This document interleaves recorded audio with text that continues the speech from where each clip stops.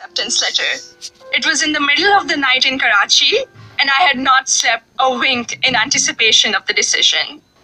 I am honored to be standing in front of you and telling you about my Smith journey. My name is Zainab Aqdas Rizvi, and I'm a proud member of the class of 2018.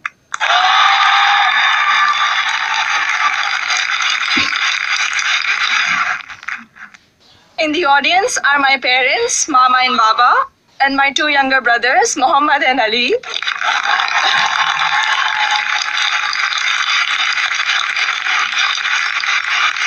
And they're visiting Smith for the first time from Karachi, Pakistan.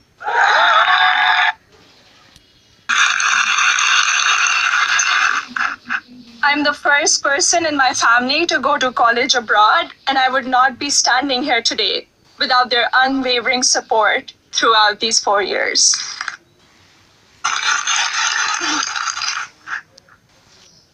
I had never visited the United States before applying to colleges, so reputation and word of mouth played a major role in deciding where to apply. At my high school's career fair, I spoke with Sharmeen Obaid class of 2002, also here today, and she encouraged me to consider Smith when I expressed an interest in storytelling and journalism. She told me about Smith's curriculum that encourages taking classes in a variety of different disciplines. Soon after, I decided to apply early decision. The curriculum and go from English to double majoring in computer science and statistical and data sciences.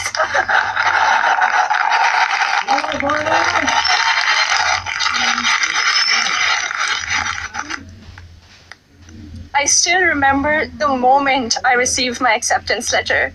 It was in the middle of the night in Karachi, and I had not slept a wink in anticipation of the decision. I logged into the admissions portal and then ran upstairs to my parents to wake them up and to tell them the good news. Wouldn't be able to attend Smith without a generous scholarship. I distinctly remember getting on a phone call with the head of student financial services, David Belanger, at 3 a.m. in Karachi to discuss the specifics of my family's financial situation. Adjusted financial aid package that would make it possible for me and my family to be able to afford a Smith education.